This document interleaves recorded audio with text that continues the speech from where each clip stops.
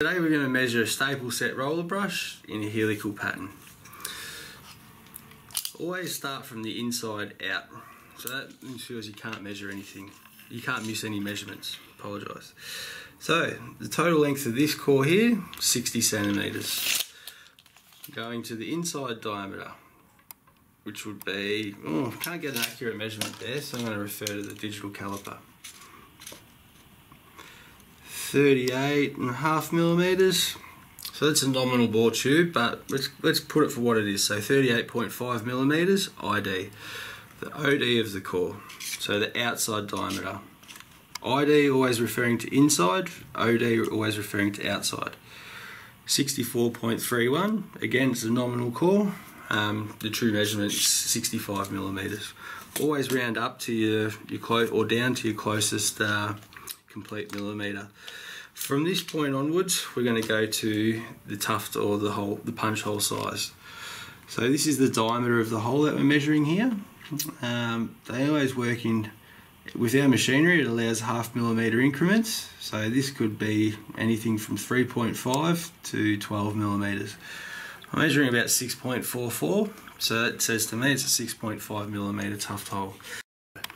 And now we'll measure the type and the thickness of the material used.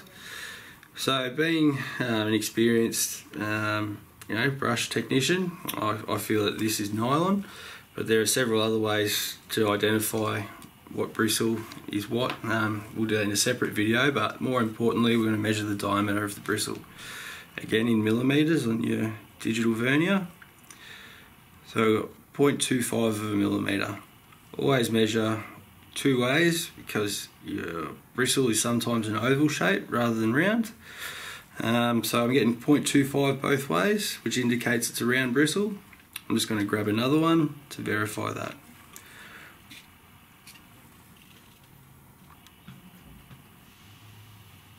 Point two seven by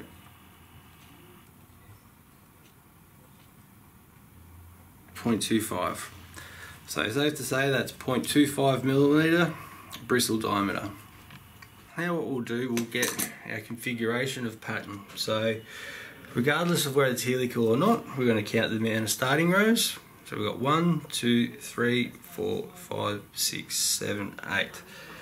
So we've got eight starting rows. We don't have anything staggered or hidden in between. So eight true rows, single, eight single rows, helical pattern.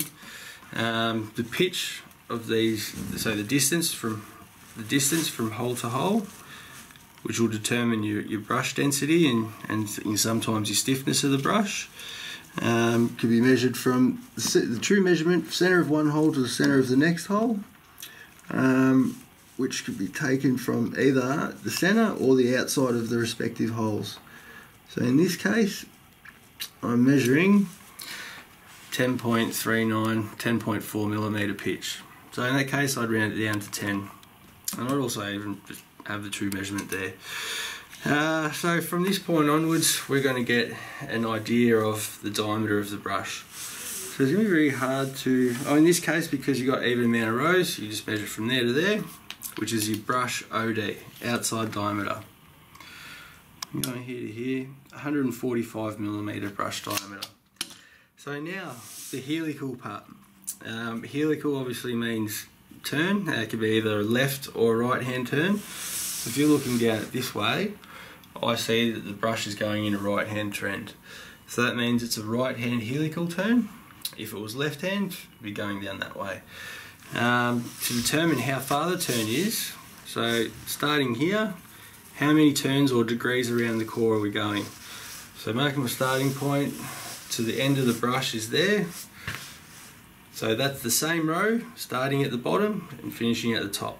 So that's a half turn, or also known as 180 degrees turn.